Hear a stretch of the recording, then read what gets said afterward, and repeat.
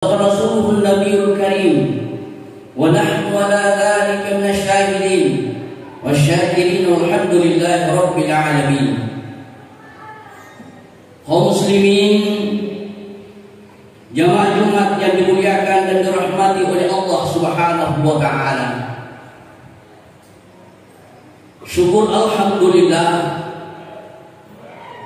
kita panjatkan kehadirat Allah Subhanahu wa taala yang telah memberikan nikmat kepada kita. Baik nikmat iman, nikmat Islam, nikmat kesehatan. Sehingga alhamdulillah kita dapat melangkahkan kaki kita menuju ke rumah Allah untuk menjalankan perintah-perintah Allah Subhanahu wa taala dan berusaha untuk menjauhi apa yang dilarang oleh Allah Subhanahu wa taala. Begitu pula salawat dan salam semua tercurah kepada baginda Rasulullah sallallahu alaihi wasallam. Nabi yang agung, Nabi yang menjadi panutan bagi seluruh umat manusia, yaitu Nabiullah Muhammad Rasulullah Sallallahu Alaihi Wasallam. Jamaah Jumat yang dimuliakan oleh Allah Subhanahu Wa Taala. Agama Islam bukan hanya mengatur kehidupan manusia secara vertikal, hubungan manusia dengan Tuhannya. Tetapi agama Islam juga mengatur kehidupan manusia secara horizontal. Hubungan manusia dengan manusia. Itulah sebabnya bumi ini Allah ciptakan dan manusia diberikan tugas sebagai khalifah. Karena sebagai khalifah di muka bumi ini tidak dibiarkan untuk bertindak semena-mena mencaci maki, memfitnah, menghasut atau menyakiti sesama manusia secara fisik tanpa dibenarkan atau alasan dibenarkan dilegalkan oleh syariat Islam. Jemaat-jemaat yang dimuliakan oleh Allah Subhanahu wa taala. Alhamdulillah pada hari ini tanggal 16 Agustus 2024 atau bertepatan 10 Rajab 1446 Hijriah Oleh karena itu pada tahun ini ada tiga hal yang perlu kita renungkan bersama. Ada tiga hal yang menjadi suatu peristiwa yang perlu menjadi renungan bagi kita sekalian. Yang pertama, baru saja kita meninggalkan tahun baru Islam bulan Muharram. Hari ini kita sudah memasuki 10 Rajab, 10 Safar.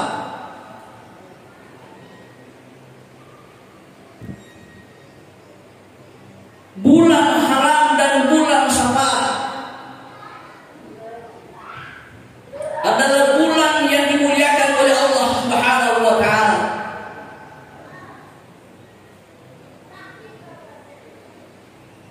Kita harus meluruskan niat meluruskan keyakinan kita terhadap bulan Muharram dan bulan Safar. Karena banyak orang mengatakan bahwa bulan haram dan bulan Safar adalah bulan sial di mana bulan Muharram begitu banyak peristiwa-peristiwa yang terjadi. Termasuk ketika Nabi Musa alaihissalam diselamatkan oleh Allah dari kejaran pasukan Firaun yang ingin membunuhnya itu terjadi di bulan Muharram. Nabi Ibrahim alaihissalam diselamatkan oleh Allah dari api. Itu juga adalah bulan Muharram. Nabi Adam alaihissalam diterima taubatnya di bulan Muharram.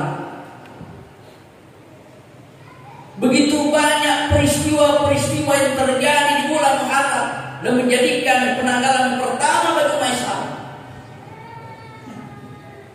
Dan hari ini kita telah berada di bulan Safar.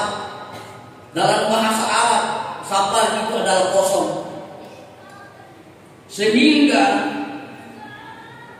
banyak di antara kita yang menafsirkan salah, keliru bahwa bulan Safar itu adalah bulan sial. Sehingga di namanya apa boting, di namanya pugau di gau madete karena dikatakan adalah bulan sial. Sabar artinya kosong Waktu itu di Arab Saudi di Mekah masyarakat Mekah pada saat itu meninggalkan rumahnya, mengosongkan rumahnya, semua berangkat untuk berperang. Sehingga ada orang menafsirkan bahwa Safar adalah bulan siang sehingga dia namanya Mapakoti di sini perlu kita meluruskan keyakinan kita bahwa dekaga eso, dekaga bulan, dekaga tahun. Dapat jadi Allah Ta'ala adalah bulan sial. Semua Allah ciptakan hari, bulan, tahun adalah semua bulan itu, tahun itu diciptakan oleh Allah untuk hambanya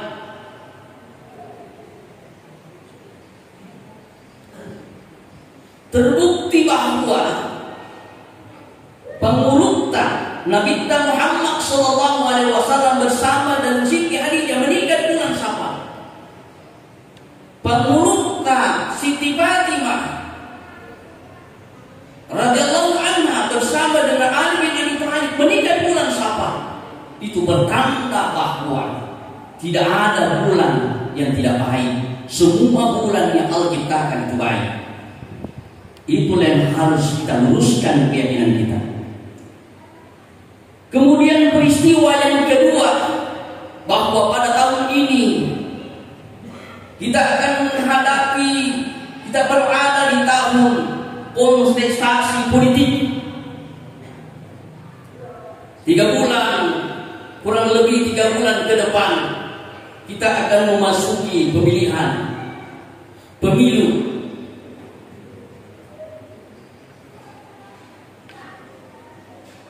37 provinsi 508 kabupaten kota dan direncanakan pelaksanaan pemilu pilkada baik pemilihan gubernur dan wakil gubernur pemilihan kepala daerah dan wakil kepala daerah direncanakan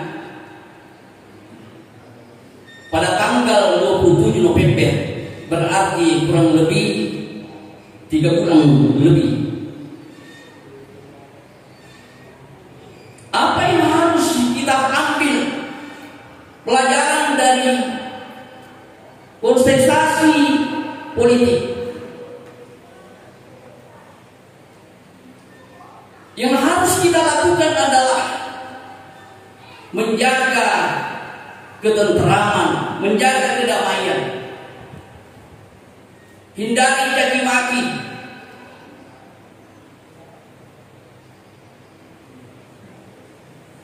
Boleh kita berbeda,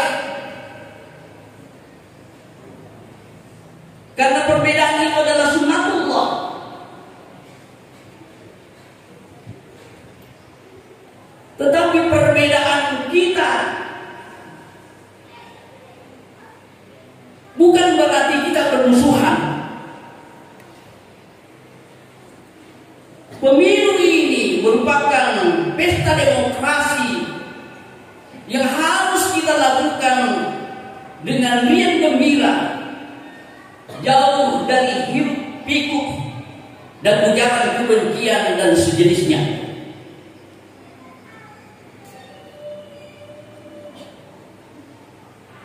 Kita boleh berbeda pendapat, boleh berbeda pilihan, tetapi kita tetap bersatu dan bersaudara. Dan dalam Al-Quran Allah Subhanahu wa taala berfirman, "Innamal mu'minuna ikhwatun fa'aslihu baina akhawaykum." Sesungguhnya orang-orang mukmin itu bersaudara. Siapa pun orangnya, apa pun sukunya, apa pun warna kulitnya, kalau dia mengatakan La ilaha illallah Muhammad Rasulullah Itu adalah saudara kita Yang harus kita hargai Yang harus kita hormati Yang harus kita muliakan Sebagaimana kita menghormati dan menghargai diri kita sendiri. Maka kami mengajak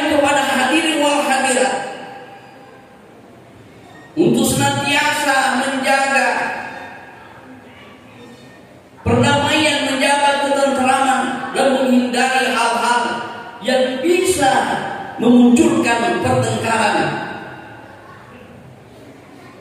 di tengah panasnya konsentrasi politik.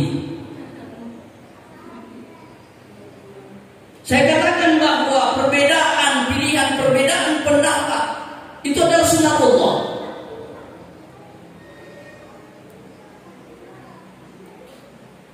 Rasulullah Wasallam telah memberikan contoh kepada kita bersama dengan para sahabatnya. Ketika Rasulullah menyuruh para sahabatnya berangkat di perkampungan Quraisy di saat itu sudah masuk waktu asar. Maka salah seorang sahabat bertanya, Ya Rasulullah, bolehkah kami berangkat setelah kami melaksanakan sholat asar? Maka Rasulullah berkata, tidak, berangkatlah. Karena waktunya sholat asar itu masih panjang, maka para sahabat berangkat. Tetapi di perjalanan, waktu semakin dekat mendekati akhir waktu sholat asar, maka sahabat berdebat. Wah makanya kapal masuk panjang asar ina sabah itu dicampur tunah karena sholat asar itu adalah sholat fardu ain, sholat fardu wajib hukumnya. Setelah kita melaksanakan sholat asar baru kita lanjutkan perjalanan. Tetapi sahabat yang lain mengatakan tidak, kita teruskan perjalanan. Terbagi dua lah sahabat, ada orang sahabat yang mengerjakan sholat, ada sahabat tidak mengerjakan sholat nanti tiba di perkampungan Quraisy baru melaksanakan sholat, mengganti sholat. Setelah sampai di perkampungan Quraisy, lalu mereka bersama-sama sahabat ini menghadap kepada Rasulullah karena masing-masing merasa benar pendapatnya. Lalu Rasulullah memberikan solusi. Apa jawaban Rasulullah SAW? Wahai sahabatku, orang yang melaksanakan sholat di waktu asar maka pendapatnya benar. Dan orang yang salah setelah sampai di perkampungan Quraisy juga benar.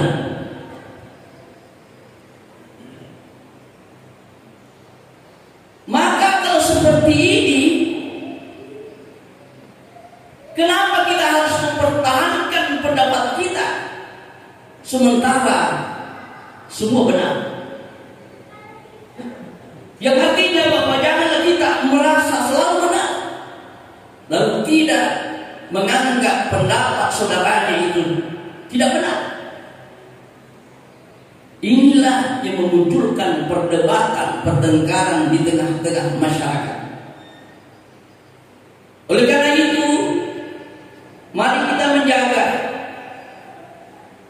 lingkungan kita, daerah kita, agar pelaksanaan pemilu yang kurang lebih tiga minggu, tiga bulan lebih berjalan dengan tertib, aman dan damai tidak terjadi hal-hal yang tidak kita inginkan. Karena jika kita bercerai-berai, maka bukan hanya rahmat Allah turun, tapi justru azab Allah yang Allah akan turunkan. Itulah Allah mengingatkan kepada kita, "Waqtasimu bihablillahi jami'a wa la tafarraqu." Wahai umat yang beriman, berpegang teguhlah kepada tali agama Allah dan jangan bercerai-berai.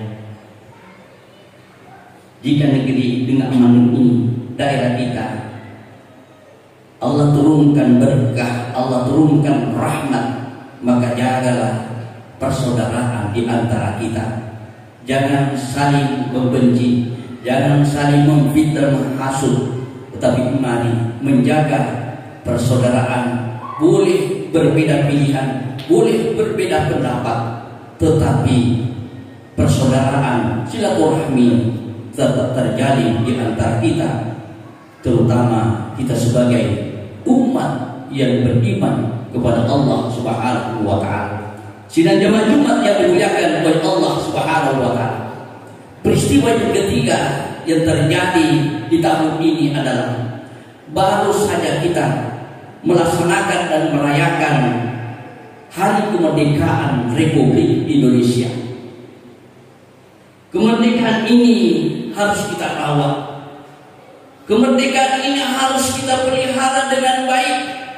Karena kemerdekaan ini bukan hadiah dari Belanda, bukan hadiah dari Jepang, bukan hadiah dari Inggris, tetapi kemerdekaan ini adalah rahmat dari Allah Subhanahu wa taala melalui perjuangan pengorbanan para pahlawan yang gigih mengusir para penjajah mempertahankan NKRI.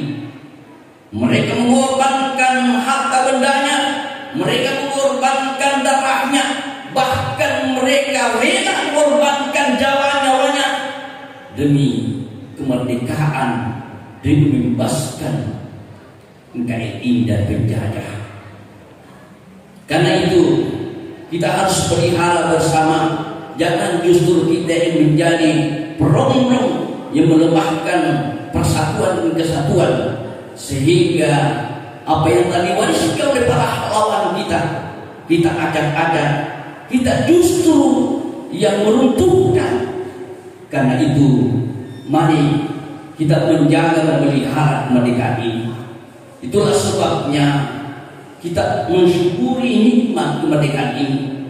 Bagaimana caranya? Ada tiga caranya kita mensyukuri nikmat kemerdekaan ini. Yang pertama adalah camkan dalam hati bahwa kemerdekaan ini kita peroleh adalah karena dari rahmat Allah Subhanahu wa taala. Karena bagaimanapun usaha para pahlawan kita untuk mengusir para penjajah, mempertahankan negeri negara kita ini. Kalau bukan rahmat Allah, maka mereka tidak mampu mengusir penjajah dari tanah air kita ini. Yang kedua, mengisi kemerdekaan ini sesuai dengan profesi kita masing-masing. Apa yang harus kita lakukan? apa yang harus kita isi kemerdekaan ini. Maka tentu kita punya masing-masing profesi. Polisi bekerja dengan baik sesuai dengan tanggung jawabnya. Seorang guru mengajar dengan baik sesuai dengan profesinya, keahliannya. Petani bertanilah dengan baik sehingga menghasilkan sesuatu yang bisa kita nikmati bersama. Apa pun profesi kita, mari kita mengisi kemerdekaan ini dengan baik. Seperti itulah jalan kita mensyukuri nikmat kemerdekaan. Lalu kemudian ketiga adalah banyak-banyaklah memuji Allah Subhanahu wa taala. Banyak-banyaklah berzikir memuji Allah Subhanahu wa taala bahwa kehidupan kita di dunia ini Allah memberikan kenikmatan berupa kemerdekaan. Itu adalah untuk kita semua, untuk kita nikmati bersama. Karena itu Allah berfirman dalam Al-Quran surah Ibrahim ayat 7 "La in syakartum la azidanakum wa la in kafartum inna adzabi lasyadid." Jika kamu nikmat aku berikan kepadamu, aku akan menambah nikmat kepadamu. Tapi jika engkau kufur terhadap nikmatku, wa la in kafartum inna lasyadid. Sesungguhnya azabku sangat pedih. Jangan Jumat yang dimuliakan oleh Allah Subhanahu wa taala Bagaimana kita tidak bisa membayangkan jika kita dijajah. Mari kita renungkan bagaimana saudara-saudara kita di Palestina yang kurang lebih 40 ribu jiwa yang terbayang karena perang. Tidak ada kedamaian. Tidak ada rasa aman. Kita tidur pun tidur kita tidak bisa nyenyak karena kita dijajah. Oleh karena itu, mari kita menjaga, memelihara, merawat kemerdekaan ini dengan baik. Sehingga tidak ada pun satu negara pun, tidak ada pun satu orang pun yang bisa merongrong, yang bisa melepaskan dari NKRI ini menjadi negara yang berdaulat, menjadi negara yang merdeka. Sehingga kita senantiasa mendapatkan negara yang batal Taiwan Moratul Kabur menjadi negara yang aman, damai dan bahagia, sejahtera dunia dan akhirat. Inilah yang sempat kami sampaikan semoga membawa berkah kepada kita semua dan terutama kepada diri saya sendiri. Amin ya rabbal alamin. بارك الله لكم في القرآن العظيم ونفعني وإياكم بما فيه من الآيات والصدق الحكيم. وتقبل مني ومنكم تلاوته. إنه هو السميع العليم. أقول قولي هذا واستغفره. إنه هو الغفور الرحيم.